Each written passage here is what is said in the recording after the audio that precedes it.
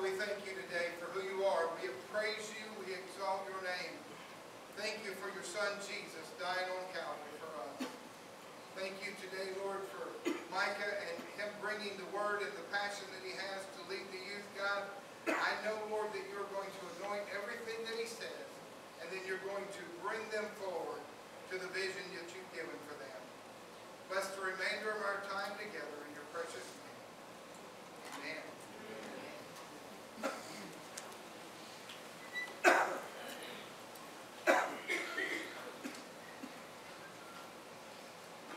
So while these are getting a seat, uh, as hopefully all of you know, at this point, uh, me and Tori have stepped up to be youth pastors, and uh, we have decided on a name for the youth group and a vision, and uh, we have chosen the name Beyond, and that's what I'd like to talk about today and the scripture behind that.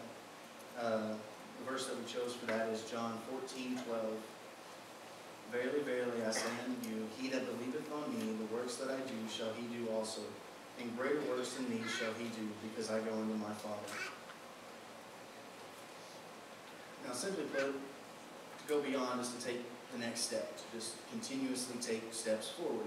And the best part about that is there's no there's no end to the steps.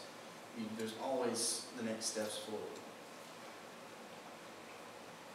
So if you will turn with me to Matthew chapter 22, verses 35 through 40.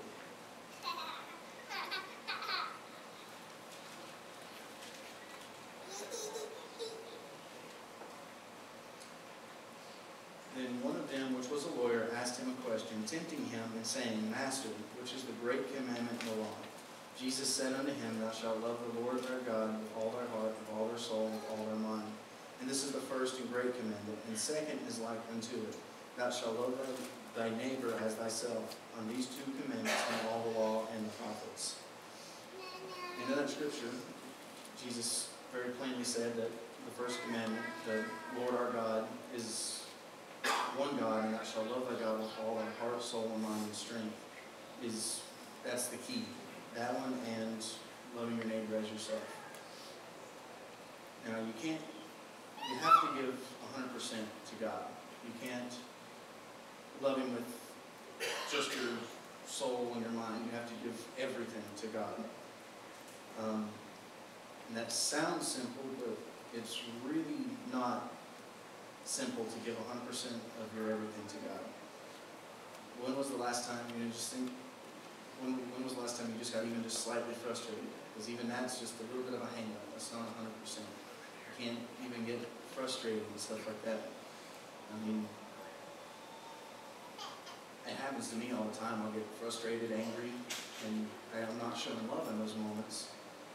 And I can't love my neighbor if I can't like if I'm angry at someone, you know, there's no love in that. Um,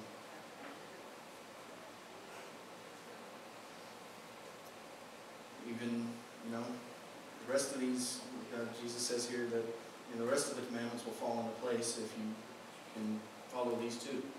And, uh, you know, if I get frustrated with my dad, I'll, honestly, at that point, you know, I'm not honoring your, I'm not honor, honoring my father, and one of the commandments is to honor your father and mother.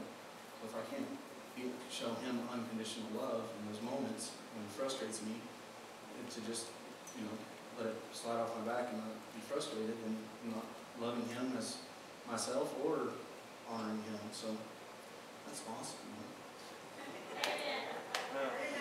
Just break a couple commandments in one go, you know.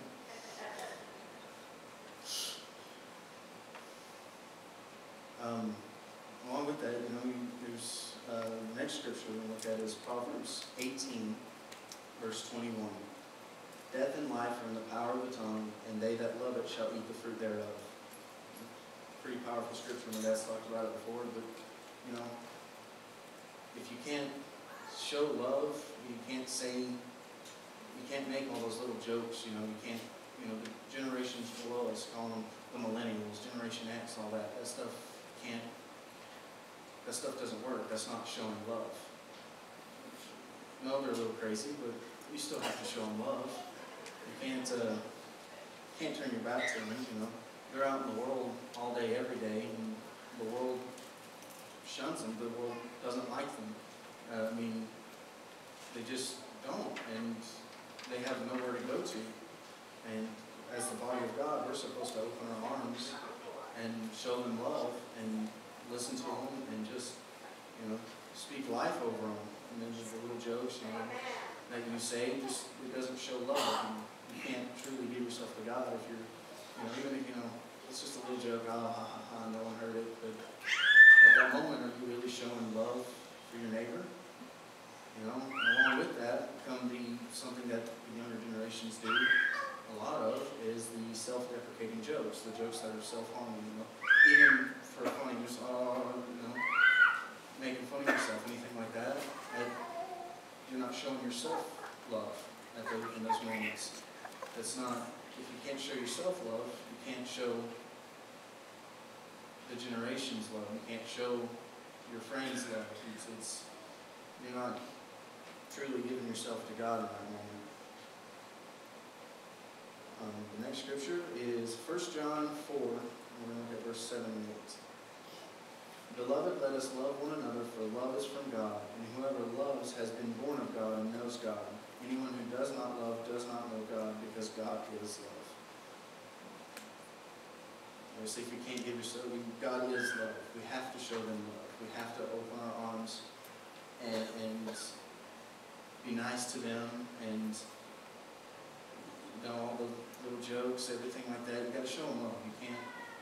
You have to listen to them. You can't just turn away from them because the world's turning away from them. So we have to be. The, you know, we, we should be the safe place they should be able to come to. They should be able to run to God, and we have to show God through our actions and our words. And why, why would I want to come to a place that all I'm hearing are jokes and, and people being you know, even if you, you know, they're just little, not meant to be harmful things, just, why would you want to come to a place that's harmful in a way? And, uh, we don't ever, you know, obviously we do every once in a while, but like, in a world standpoint, they don't, you know, everyone puts them down, no one ever tries to lift them up, tries to, you know, offer good advice or, you know, just there's no love out there for them. We need to, for them to go beyond where they're at, beyond everything, they have to have love from somewhere. And we should be the ones to open our arms.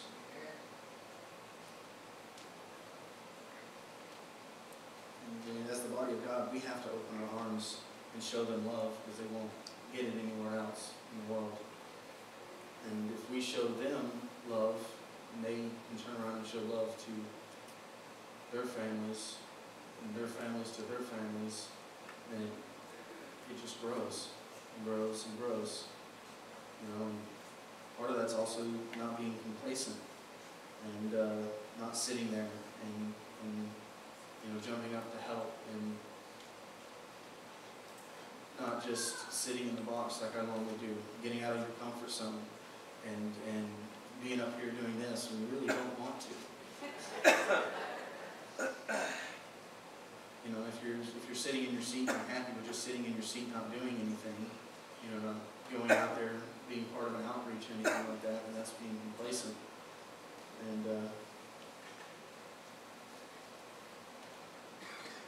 you know, and you, you can't be complacent and and show love and all that. You you have to be able to outreach and reach these generations.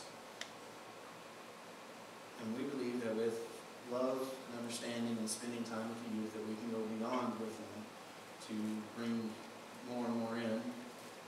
And, you know, for the church, we see that we need to go beyond, beyond our normal praise and worship. And saying at Samuel, David danced before God and before the whole city in the streets in his underwear. I said, that's probably beyond normal praise and worship.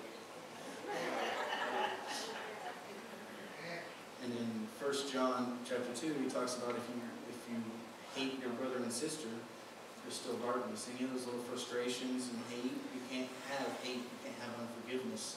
Because that's not showing love. You're not giving yourself fully to God. James 1.20, something that I work with a lot and uh, deal with, and I'm still working on, is anger. And It does not produce righteousness. And all those, when I get angry, and even over the little things, it's it. Even if I don't say anything or do anything, for me to have harbor anger does not mean I truly have love and unconditional love. And you go uh, John 14, you know, know, I was stressed about coming up here and talking to you guys, and we have to be able to go beyond the stresses of going out there and talking to everybody. It's uh, John 14, Jesus talks about leaving his peace here, his perfect peace. You know, we can't, you know, still got up here anyway, but it was, uh, stressful and was worried about it and everything, but you know, if I followed my own advice, we would, uh, I wouldn't be stressed out. And uh, beyond complacency, Revelation chapter 3 talks about uh, not being lukewarm and being complacent. If you sit on the pew and you're happy, you, but just sitting there, you're not really outreaching, you're not really doing a whole lot there. You're, will be spit out. We can't go beyond where we are now as a body of God or as people without 100% giving yourself to God and without 100% of unconditional love. We feel like the generation below us have been put down for a long time, and we feel like love's going to be the key to get them here. Love and spending time with them. Um, it's kind of short, but uh, everyone, please stand. Go to the phones, let's go to.